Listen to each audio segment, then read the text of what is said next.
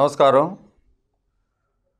ముఖ్యంగా ఈరోజు నిన్న కమ్మరాజ్యంలో కడప రెడ్లని ఒక టీజర్ ఆర్జీవి గారు రిలీజ్ చేయడం జరిగింది.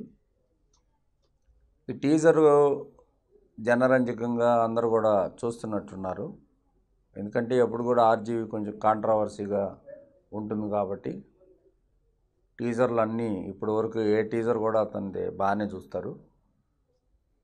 సినిమా విషయానికి వస్తే ఈ కమ్మరాజ్యంలో కడపరేట్లు అనే టైటిల్ అనేది కథా సంగ్రామంగా చూ చూడవలసి వస్తే చంద్రబాబు నాయుడు పరిపాలన నుంచి లాస్ట్కి జగన్మోహన్ రెడ్డి గారు ముఖ్యమంత్రి అయ్యేది ఎన్ని రకాల కుట్రలు చంద్రబాబు ఎలా చేశాడు ఏ రకంగా జగన్ని ఇబ్బంది పెట్టాడు అనేది చూపించుకుంటూ లాస్ట్కి ప్రజాక్షేత్రంలో ఎన్నికల్లో గెలిచినట్టు చూపిస్తారేమో అని ఒక తలంపు ఉంది. ఎందుకంటే దాన్ని టైటిల్ ఎల్సెల్ ఫోన్లీ అని అంటే కమ్మరాజ్యంలో కడప అని అన్నారు కాబట్టి కమ్మరాజ్యం అనేది చూపించాల్సినంత అవసరం ఉంటుంది.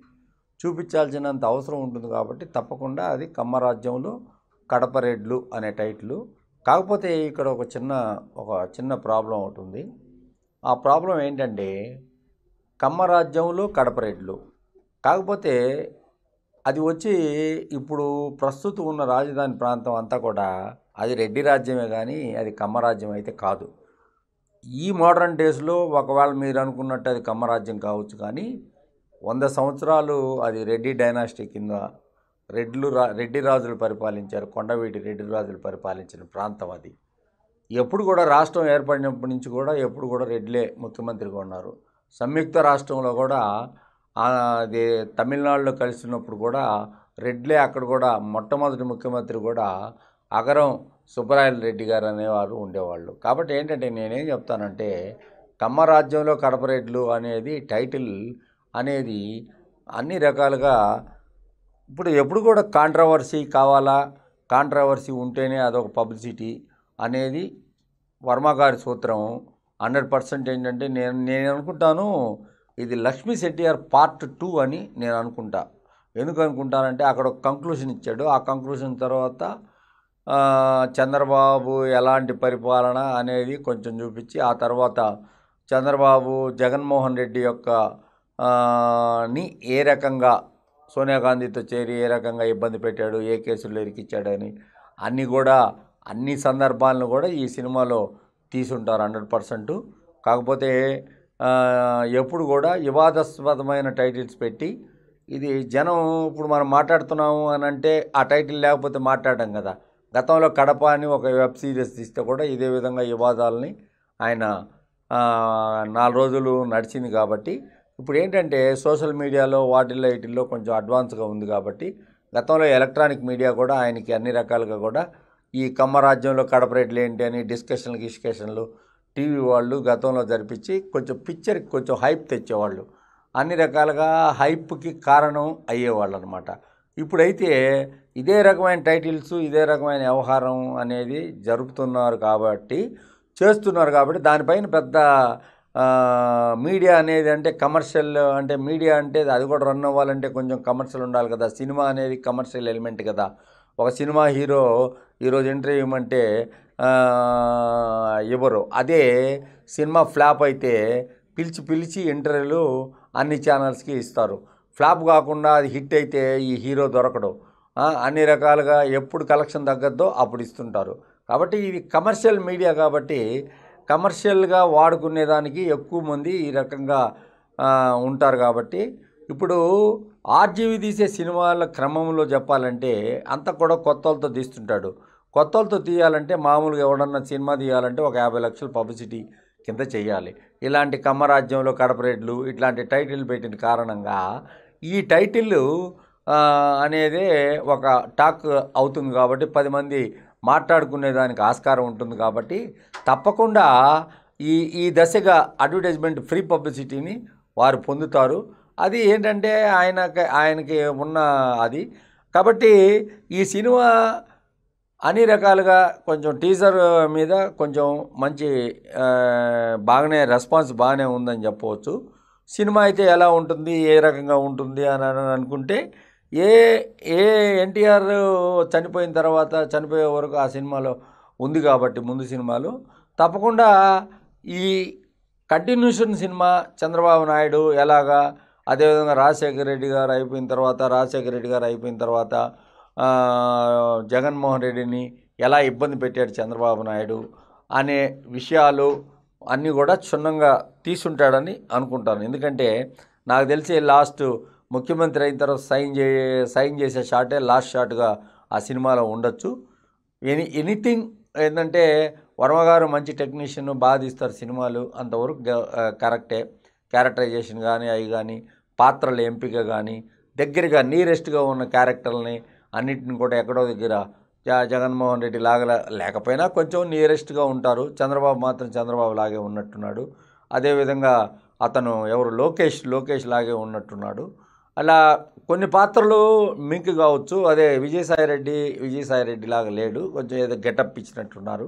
కాబట్టి అన్ని రకాలుగా వచ్చి సినిమా అనేది సినిమాని ప్రభుత్వాలు సినిమాని సినిమా దృక్పథంలోనే చూడాలా అని చెప్పేసి సినిమాగానే చూడాలా అని అంటారు. కానీ టైటిల్ ఒక జనరల్ పబ్లిక్ అయితే ఏమనుకుంటారంటే రాష్ట్రంలో ఈ వైఎస్ఆర్సీపీ ఇంత విజయ దుందుమి మోగించేదానికి అన్ని రా అన్ని జిల్లాల్లో ఉన్న రెడ్డి సామాజిక వర్గం గట్టిగా ట్రై చేసిందని చెప్పవచ్చు ఎందుకంటే తెలంగాణలో అయితేమి అదేవిధంగా ఆంధ్రాలో అయితేమి రెండు రాష్ట్రాలు కలిసినప్పుడు రెడ్లే ఎక్కువగా ముఖ్యమంత్రులుగా ఉన్నారు కాబట్టి రెడ్డి ముఖ్యమంత్రి ఇంకా కాలేడేమో అని ఒక నిరాశ నిస్పృహల్లో ఉన్న కార ఉన్నప్పుడు వైఎస్ఆర్సీపీ ఆ ఆ దిశకి వెళ్ళింది కాబట్టి ఇది కమ్మరాజ్యంలో క- కడప రెడ్లు అనే టైటిల్ అనేది అని అనే తల్లికి ఏమవుతుందంటే చెప్పమంటావా ఇప్పుడు నెల్లూరు జిల్లా ఉంది. పదకొండు అసెంబ్లీ స్థానాలు ఉంటే పదకొండు అసెంబ్లీ స్థానాల్లో రెడ్లు ఎక్కువ అధిక ప్రాధాన్యం ఉన్న ప్రతి ప్రాంతంలో ఆల్మోస్ట్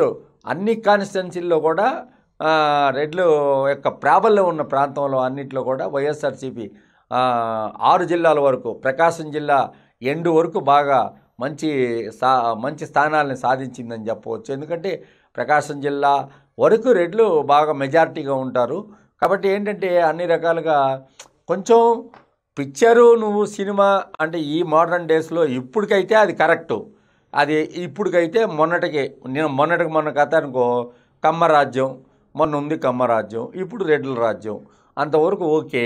కానీ కడప రెడ్లు అనే దానికి జగన్మోహన్ రెడ్డి గారు రేపు ఒప్పుకుంటారా? ఆయన ప్రాంతీయ తత్వాలు ప్రాంతీయ విభేదాలకి కొంచెం దూరంగా ఉంటాడు కాబట్టి ఎందుకంటే వైఎస్ రాజశేఖర రెడ్డి గారు కూడా గతంలో నాకు ఒక మాట చెప్పారు ఒకరోజు. ఈ సినిమా వాళ్ళంతా కలుసుకునేదానికి వస్తే వాళ్ళందరూ నాతో ఒక సందర్భంగా చెప్తూ ఈ సినిమా వాళ్ళంతా మనకి యాంటీ చేశారు. రెండు వేల మూడు రెండు వేల నాలుగు ఎన్నికల ముందు అందరూ కూడా చంద్రబాబు నాయుడు గెలవాలనుకున్నారు. ఈరోజు వచ్చారు. ఇక్కడ కులాలు మతాల కంటే అందరిని కూడా మనం ఒక ముఖ్యమంత్రి ఒక ప్రజాప్రతినిధిగా ప్రజల వ్యక్తిగా మనం కులాల కంటే మనం ఉత్త రెడ్లు ఓట్లు వేసినంత మాత్రాన మనం గెలుస్తామా? ఎప్పుడు కూడా ఒక రెడ్డి ఒక శక్తివంతుడయ్యి పది మంది యొక్క బాధల్లో కష్టాల్లో పాలు పంచుకుంటారు కాబట్టి మనకి ఎప్పుడు కూడా మొట్టమొదటి నుంచి కూడా మనం మైనారిటీస్ అయినప్పటికీ కూడా మనం ఈ రాష్ట్రాన్ని పరిపాలించగలుగుతున్నామంటే అదే కారణమని చెప్పడం జరుగుతుంది. ఏది ఏమైనప్పటికీ కూడా రాజశేఖర రెడ్డి గారు చెప్పిన విధానాన్ని బట్టి రాజశేఖర రెడ్డి గారు చెప్పిన సిస్టమ్ బట్టి నేను ఆలోచిస్తే ఏంటంటే ఇలాంటి ఏంటంటే జగన్మోహన్ రెడ్డి గారు కూడా కమ్మ రాజ్యంలో కడప రెడ్లు అనే టైటిల్ కడప రెడ్లు అనే టైటిల్ అనేది దానికి ఆయన కూడా అంత సుముఖంగా ఉండరు అని నాకు అనిపిస్తుంది. కానీ ఏంటో సినిమా కదా ఇదంతా ఊహాజనితమే కదా. ఏ ఏ- ఏ సినిమా అయినా ఏదైనా కూడా ఇంత ముందంటే సెన్సార్ ఆఫీసరు ఒక అతను ఉన్నాడు ఆయన మనకి అన్నీ కూడా చెప్పాడు. ఇప్పుడు కొత్త సెన్సార్ ఆఫీసర్ రాబోతున్నాడు. కాబట్టి ఏంటంటే వచ్చిన వాడికి కొత్తగా సెన్సార్ ఆఫీసర్ వచ్చిన వాళ్ళకి ఈ చట్టాలు తెలుసుకునే తలకి ఈ యాక్ట్లు ఏం చెప్తాయి? ఈ టైటిల్ ఉండొచ్చా? ఉండకూడదా? అని చెప్పే దానికోసం ఒక ప్రాంతాల మధ్య విద్రోహాలు రేగొచ్చే విధంగా ఉంటుందా? అది ఇది అని ఉంటారు. అయితే మేము స్వాగతిస్తున్నాం హండ్రెడ్ పర్సెంట్. ఆర్జీవి గారు మంచి టెక్నీషియను. రామ్ గోపాల్ వర్మ గారు మంచి టెక్నీషియను. వారు ఎప్పుడో కూడా మనకు తెలిసిన రోజుల్లో నుంచి కూడా ఎప్పటి నుంచో కూడా శివ అప్పటి నుంచి తెలుసు. కాబట్టి అదేవిధంగా మనం కలుస్తూ ఉంటాము. అంతేగాని మాకు ఆయనకి ఏమి ఆయన లక్ష్మీ ఎన్టీఆర్ తీసినప్పుడు నేను లక్ష్మీ వీరగంధం తీసినప్పుడు ఈ సోషల్ మీడియాలో ఈ రకంగా ఆ రకంగా ఈ రకంగా ట్రోల్ చేయడం జరిగింది. అవంతా ఏం లేదు. మేము వ్యక్తిగతంగా మేము అందరం కూడా సినిమా వాళ్ళమే కాబట్టి ఆయన స్క్రీన్ ప్లే వేరే ఉంటుంది నా స్క్రీన్ ప్లే వేరే ఉంటుంది. అదేవిధంగా ఇప్పుడు ఆయన శశి శశికళ సినిమా తీస్తున్నానని చెప్పి అనౌన్స్ చేశాడు. నేను శశిలలిత అని చెప్పి సినిమా అనౌన్స్ చేశాను. ప్రోమో అంతా కూడా రిలీజ్ చేయడం జరిగింది తమిళనాడులో. కాబట్టి ఏంటంటే ఏంది ఆయన తీస్తుంటే నువ్వు తీస్తావా? అని చెప్పి కూడా చాలామంది నన్ను అడగడం జరిగింది. అదంతా కాదు. ఆయన వర్షన్ వేరే ఉంటుంది. ఆయన థింకింగ్ వేరే ఉంటుంది. ఆయన పెద్ద దర్శకుడు. నేను సామాన్యమైన స్థితిలో నుంచి జయలలిత గురించి తెలిసినవాడిని కాబట్టి ఏదైనా ఒక ఒక ఒక కిక్ ఇచ్చే ఒక ఇన్సిడెంట్ ఏదన్నా నాకు నాకు దొరుకుతుందని ఒక ఉద్దేశంతో నేను చేస్తున్నానే కానీ నాకే ఏ లక్ష్మీపార్వతి జీవితం నేను తీస్తాను అని అన్నాను అని అంటే లక్ష్మీపార్వతి జీవితంలో రెండు కోణాలు ఉన్నాయన్నమాట. చంద్రబాబు లక్ష్మీపార్వతి ఇద్దరు సంబంధం ఉంది ఎన్టీఆర్ జీవితంలో అనేదే నా central idea of the film అని నేను మొట్టమొదటి రోజు నుంచి చెప్తున్నా. ఇది ఎవరికి ఫేవర్గా ఉంటుంది ఈ సినిమా అని నేను ఎప్పుడు చెప్పాల. చంద్రబాబు నాయుడుకి వ్యతిరేకంగా ఉంటుంది. ఉండొచ్చు. కావాలంటే లక్ష్మీభారతికి వ్యతిరేకంగా ఉండొచ్చు. ఎవరికైనా వ్యతిరేకంగా ఉండొచ్చు. రాజకీయ వ్యవస్థలో ఉన్న లోపభయిష్టాలన్నింటిని కూడా చూపిస్తానని చెప్పానే కానీ నాకు రామ్ గోపాల్ వర్మ మంచి టెక్నీషియను మంచి ఇది శివ లాంటి సినిమా అయితే ఏమి చనశనం అయితే ఏమి అన్నీ కూడా మంచి సినిమాలు తీసి తెలుగు చలనచిత్ర రంగానికి ఒక గుర్తింపు తీసుకొచ్చాడు. అదే బొంబాయిలో కూడా ఈ బాల్దాగరి కథ అయితే ఏమి అదేవిధంగా ఎప్పుడు కూడా కాంట్రవర్సీ ఉన్నప్పుడు ఏంటంటే అది జనంలోకి ఆటోమేటిక్గా వెళ్ళిపోద్ది. ఒక పోస్టర్ రోడ్డు మీద ఇప్పుడు కనిపిస్తూ ఉంది. అదేవిధంగా ఒక టైజర్ వెళ్తుంది. దాని గురించి మాట్లాడుకోవడం మొదలవుతుంది. మౌత్ పబ్లిసిటీ ఈజ్ మోస్ట్ పిక్చర్కి ఎక్స్పెక్టేషన్ పెరిగేదానికి ఎక్కువగా అది హెల్ప్ అవుతుంది. ఇప్పుడు నేను లక్ష్మీ స్వీరగంధం తీస్తానన్నప్పుడు కూడా ఇదే విధంగా జనాలు మాట్లాడుకుంటూ ఉండేవాళ్ళు. లక్ష్మీ స్వీరగంధం నేను మాత నేను ఎక్కడికైనా పోయేటప్పుడు అంటే నేను రామ్ గోపాల్ వర్మ అంత పెద్ద దర్శకుడు కానప్పటికీ కూడా నాకు ఒక గుర్తింపు అనేది నేను ఇంతకుముందు గతంలో చలనచిత్ర పరిశ్రమలో ఉన్నప్పటికీ కూడా ఇప్పుడు జనరేషన్ పిల్లలంతా లక్ష్మీ స్వీరగంధం డైరెక్టరు లక్ష్మీ స్వీరగంధం డైరెక్టర్ అని చెప్పి నా గురించి చెప్పుకోవడం జరిగింది. కాబట్టి నేనేం చెప్తానంటే మంచిదే మంచి భావంతో మంచి సినిమా సందేశాత్మకంగా తీసుంటారని చెప్పి అనుకోవచ్చు. హండ్రెడ్ పర్సెంట్ సినిమా ఆడాలనే కోరుకుందాం ఎందుకు ఆడకూడదని ఎవరు కోరుకునేదానికి లేదు. సినిమా అనేది చాలా శ్రమతో కూడిన వ్యవహారం ఈ రోజుల్లో.